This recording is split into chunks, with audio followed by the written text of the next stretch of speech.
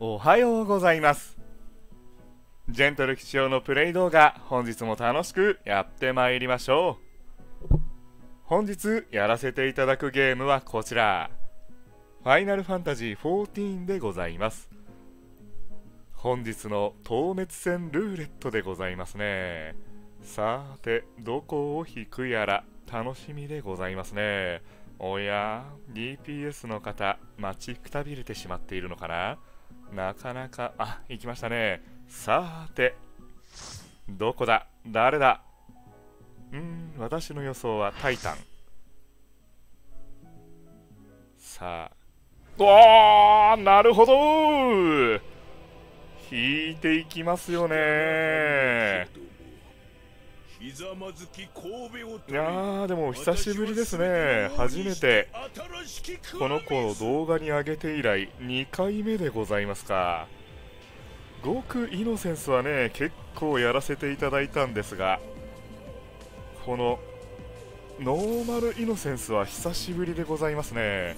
えー、っとソーセージを食べた。早いよいしょ。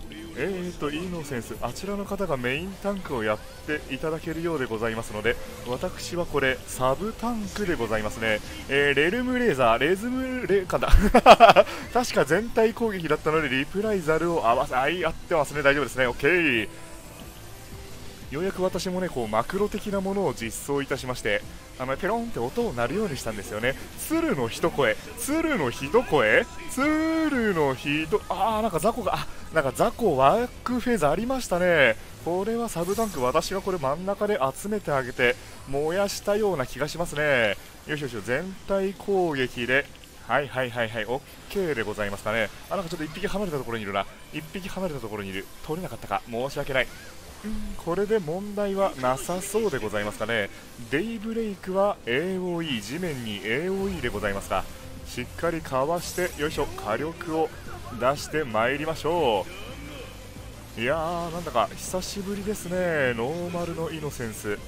おっとここは私があ入ってくれてますね。大丈夫ですね。そしたら私は殴り続けましょう。よいしょよいしょ。これでしっかりとようやくなんか落ち着いてきましたね。また鶴の一声が来ましたのでよいしょ回収してまいりましょうね。よいしょ雑魚をしっかりとよいしょ回収してあげてそして範囲攻撃で焼く。スコルドブライダルは何でしょうね？スコルドブライダル。おそらく全体攻撃なのではないかな。おお AOE が来ますね。しかし、雑魚はしっかり燃やせておりますね。あれからだいたい2、3週間経ちましたか。アイテムレベルもねだいぶ上がりましたのでノーマルはかなり楽にいけるようになっておりますでしょうかね。今のところ、まあ、これは本番の前でございますのでよいしょこれはあと削り切ってというところでございますがこれちょっとここ入っておきましょうね。よいしょ？ああ見ちゃやよ見ていく 見ちゃいけないやつですね今のはね。思い切り見てしまったな。恥ずかしいやつですねこれ。混乱してしまった。よいしょ。さてここからイノセンスは特に攻撃をねしてこなくなりますので、まあ、全体攻撃がねちょろちょろ入ってくるんですがここはもうひたすら DPS を出すフェーズでございますのでよいしょ。何も考えずにですね DPS しっかりと回してまいりましょう。よいしょよいしょよいしょ。結構連続で全体攻撃来てるんですね。さあ残り19%もう前 初めて見たときはねあの爆笑してしまった変身劇がこれから来るぞというところでございますね。よいしょよいしょ。火力を出してちょっと分身は次回に取っておきましょうね。残り10%さあここからムービーが入りましていざや本番と。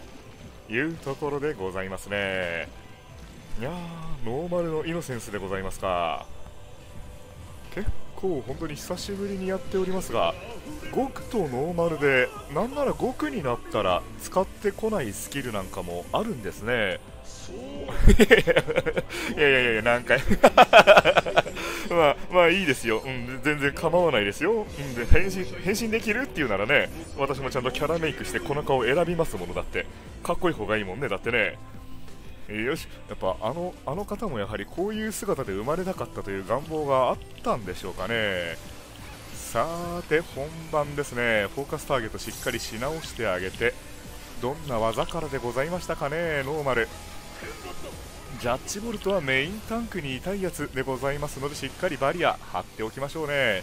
ノーマルは特にねスイッチが必要なシーンというのもございませんのでちょっとしっかりとねサブタンクな補助的なね動きに集中できればなとは思っておりますが MP 管理でございますね。断罪の飛翔は AOE ですね。しっかりと、まあ、空いてる場所は必ずありますのでよいしょ逃げ込んであげる。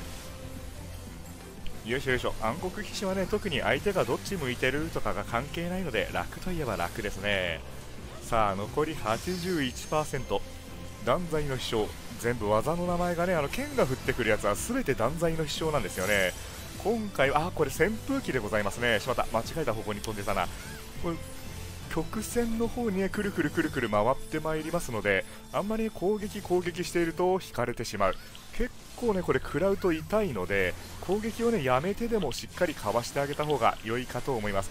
断罪の旋回。このね青い AOE 苦労しましたね。これ戻ってくるんですよね。今飛んでいった軌跡を描いて再びこれ戻ってくるんですよ。なので、いや食らってしまいますよね、しかもあれを食らうとねデバフ引いてしまいますので、シャドウリーバーは全体攻撃などでリプライザルを合わせておく、結構痛いですね、よいしょ、これで大体の技はもうできった形でございますかね。残り64%これより裁きを実行する。線でつながれた雑魚をやるということですね。これもちょっと5区とは違う部分になりますかね。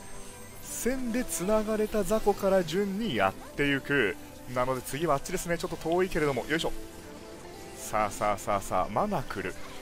マナクルは全体攻撃でございますかね。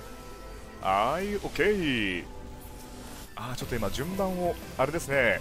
まだつながってないやつをやってらっしゃる方がいて。あれね順番違うのやっちゃうと攻撃力ダウンのデバフがついてしまいますので結構この履行においてはね辛くなる。よいしょよいしょ。さて残り75でイノセンスの移行が60台ですのでまあまあ問題なくやれはするでしょう。攻撃力低下これ攻撃力低下なんですかね。なんかあ残属性耐耐性低下なんですね。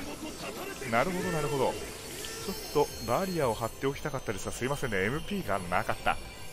攻撃力ではなく防御力の低下なんですね。残属性に対する耐性が低下。あー痛い。なるほど。これがたくさんついてしまってるとおそらくこの利口攻撃残属性なんでしょうかね。よいしょ。さーてかっこいいイケメンイノセンスの後半フェーズに入りますか。